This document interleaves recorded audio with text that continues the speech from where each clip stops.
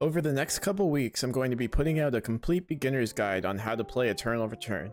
This video, we're going to start out with the tutorials of the game and breaking them down into specific sections. This will be as if you've never touched the game before, and by the end of the series, you'll hopefully be able to hit your rank goals. Make sure you check out my community tab here on YouTube for individual breakdowns about each section. What's poppin' everyone, it's your boy Levi, and this is the first thing you should do after downloading Eternal Return, and that's check out the tutorial. However, you're not going to follow it exactly.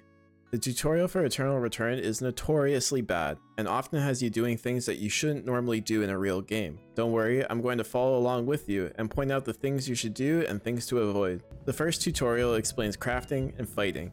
You'll also get some lore here about the island, which hopefully will have some voice acting in the future. When entering Lumia Island, you'll be prompted with the key bindings. Ignore my key bindings, I remapped all of mine. The character the tutorial gives us is Yuki. So this tutorial doesn't explain the HUD, but I think that's the best place to start. At the very top of the screen, you have the zone that you're in. There are 17 zones in Lumia Island. The timer at the top is the day-night cycle timer. You start on day 1 morning, then day 1 night, and so on. Different events happen on different day cycles. Under the timer is your detonation timer, also known as your red zone timer. This timer is unique to each player and ticks down for every second that you're in a restricted zone. I'll explain what a restricted zone is later in the series. The number next to the gray avatar symbol is the player count. Typically, a lobby has 18 players, including yourself. However, if there aren't enough players queuing, the lobby will start as low as 15. Below that is your character profile picture and battle zone kit. You spawn in every game with a battle zone kit, which lets you revive if you partake in a battle zone and lose. Once again, more about this later. The first tab in the top right is your credits. Credits allow a player to order items starting after a minute and 5 seconds into the game. This is because there's a 5 second countdown to get into game, so it's really a minute. Item price scales as the game goes on. Next to the credits is the game timer. This does not coordinate with the day-night cycle, and simply shows how much time has elapsed in the current game. Next to the timer is your stats, in order of team kills, kills, assists, and hunts. If you're playing duos or squads, team kills are how many kills your team has gotten as a whole. Kills are just how many kills you have specifically last hit. These will show the same number in solo modes. Assists are what you get in team modes if you're the person that doesn't get the last hit. Hunts are how many animals you have slain throughout the game. The three icons next to this information are display, camera toggle, and settings respectively. Below this is your save plan. Each game before it starts, you will select the save plan for your build you want to run. Think of it as a preset template, as items in your save plan do not mean you have the item in-game. This will show you the completed items to build and each component so that you don't have to memorize all 6 recipes. Every character has a weapon, chest, head, arm, shoe, and accessory slot. I'm not sure why that they're in this order for the tutorial, go with the order that I said them in.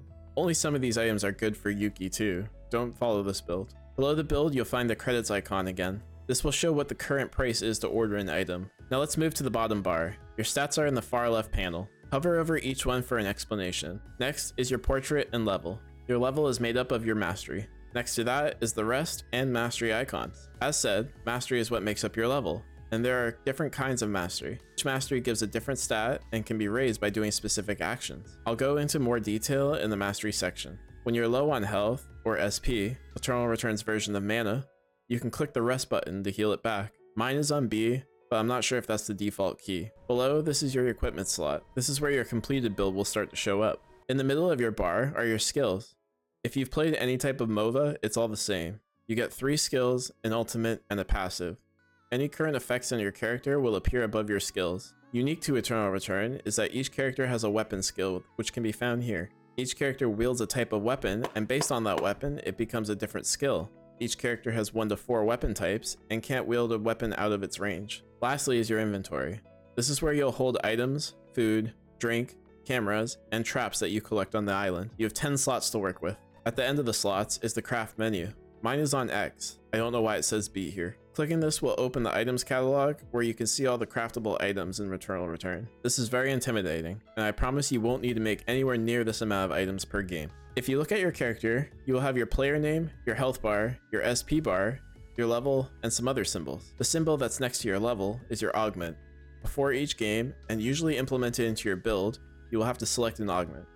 Each character benefits differently from different augments. Above the augment is your weapon mastery. Think of this as a player combat strength. It's different from your character level and it will paint a better picture of if you can take a fight with someone or not. These four stars under the SP gauge are unique to Yuki, and are his passive ability. Character's specific traits will appear under the SP bar. If you're playing a character that uses pistol, assault rifle, or sniper rifle, you will have ammo that appears here. The bottom right corner is the minimap. It can be expanded with a keybind. Mine is on T, but I think the default is M. This will show you the 17 other zones in Lumia Island. Above the map is the crafting guide. This indicates what and how many items from your build you can find in the current zone that you're in. This way you don't have to guess. Below zone items are harvesting and hunting items. Harvesting and hunting items are leather, rocks, branches, and water. Leather can always be found on chickens, dogs, wolves, and bears and 25% of the time you can find them on bats at the time of making this video. Rocks and branches can be found on the ground in every zone, and water can be found in very specific zones. Items that you need are marked with a yellow triangle inside loot boxes. Now that we know everything on the screen, let's jump into the tutorial. The first portion of every single game you play will be the looting and crafting phase. Anything with a box icon means it can be looted. If you don't see a box icon, it can be toggled with F8. A group of boxes in one area is called a loot cluster or loot distribution. Each zone or area has its own loot distribution with items. You'll want to loot these boxes to get items for your build. Items you need will be indicated with the same yellow triangle as before. If this hand symbol is in the top right of the loot box and it turns yellow, it means you have auto loot on. This is a good setting for new players. It means that after a few seconds, it will try to auto loot the required items from this zone if your inventory has enough space. It's faster just to click them though. Finally, make sure you grab the loot boxes in an order that makes sense to the direction that you're walking. It'll help save time. Items that can be equipped will auto-equip to your equipment slot if it's currently empty. Don't worry, you don't have to remove them to craft. When you have two items that can be crafted, a hammer and wrench will appear, showing the items that they can make together. You can only benefit from the stats that an item gives if it's in your equipment slot not your inventory. If you hover over the crafted item, a white border will flash over the components, showing which ones it needs to make the item. Similar to looting items, you only want to craft items with a yellow triangle. Be careful if you craft something without it. It means you crafted an item that wasn't in your build originally, and you'll have to spend some time looting the components again. Depending on the rarity of the item, it will take some time to craft. Item components are white, crafted items are green and blue, completed items are purple, and transition items are gold. Wild animals will appear on Lumia Island. The tutorial here has you fight a dog with an uncompleted weapon. Do not do this. Make your weapon to completion first. Remember it should be purple before you kill any wild animal. You should always aim for chickens if you can. The exception to this is that some weapons need a leather to be completed. Yuki doesn't need a leather for this current weapon that they have selected for me, so I'm not sure why it's making me do this. You can attack things with right click. This is called a basic attack or an auto attack. Some characters attack primarily through basic attack, while some characters primarily through spells. Some do a mix of both. I'll go more into it when I talk about damage types. As you can see, there was a leather on the dog. There was also a VF blood, which is a rare resource. Rare resources are used to make transition items. These are upgrades once you complete your build. It is impossible to find blood on a dog in a real game. Not sure why it's possible in this tutorial. Bears are the strongest animal on Lumia Island, and have a chance of having rare resources on them, which includes blood, so I don't know why they put it on the dog and not on the bear. While you can kill chickens, dogs, boars, bats, and maybe wolves without your weapon, it will just be a waste of time. Bears are a different story. They will most likely kill you if you don't have your weapon. If you're a new player, at minimum you need your weapon before taking any hunt. If you need to drop an item out of your inventory, you can control right click or just drag it out. The tutorial then engages you in combat against an opponent, but of course this is an AI bot. Once again, you typically want to have your full build before fighting another player. You should typically have your full build at the start of night 1, but partially through night 1 at its latest. Fighting a player without your build is a huge waste of time.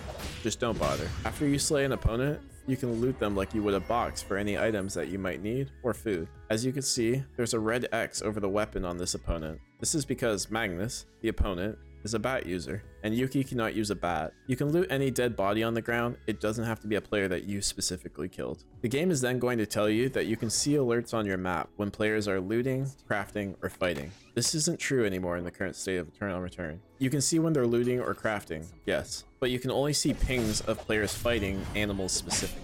You can no longer see when players are fighting other players. Once again, we shouldn't be fighting here yet, but we have to find and kill all the other opponents, so do so. When you've done that and won the game, click the exit button in the bottom right corner. For completing the tutorial, you will get the character Yuki, who you just played. He's a decent beginner character and uses two-handed sword or dual swords for weapons. This was part 1 of my complete new player's guide to Eternal Return.